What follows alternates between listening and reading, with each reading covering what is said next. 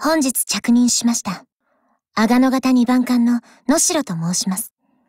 お互い自分の価値を相手に証明できるよう、共に努力しましょう。あら、お早いですね。手始めに本日の予定の確認でも。どんな状況においても、まずは落ち着いて進め方を考えてから手を動かすこと。私の流儀です。明日の3食のメニューでも考えておきましょうか。整理整頓は資料を探す手間を短縮させてくれます。手始めに机の資料を片付けたら？アガノのあの、ええ、あの不敵な笑いの裏はどうも読み取れませんね。いつも彼女はかどらないのなら、まずは手を止めて、一旦進め方を考え直したら？い、今の行動について、謝罪と反省を要求します。任務が多いと感じるのなら、優先度で一度仕分けてみたら？任務報酬を受領してきました。抜け、漏れがないかを確認してください。念入りに、ね。メール？変なのが入ってないか確認しておきます。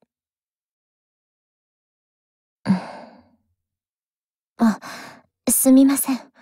考え事をしていました。戻ってきましたね。じゃあ、さっきの出撃の振り返りを。随分と焦っているようですね。一度落ち着いて、己の行いについて反省してみたら？訓練のことについて考えています。あなたもやるべきこと、あるのではなくてアガノからの共同訓練のお誘い、困りましたね。私をからかう気満々ですが、断るにしても理由が思いつきません。その時間帯にお仕事でも任せてもらえません？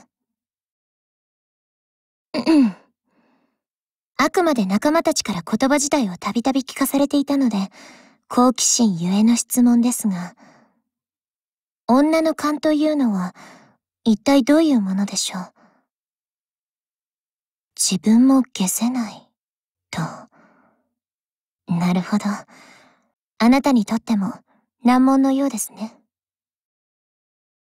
ときめくというのは、こういう感じですね。いつも勘だの直感だのより理性を働かせている分、こういう感情には不慣れなところもありましたが、ええ、今ならはっきりとわかっています。私の気持ち、そして、あなたの気持ちも。次の委託チームの手配をね。戦力の強化、頼みます。作戦計画の確認を、念入りにね。戦力の強化、頼みます。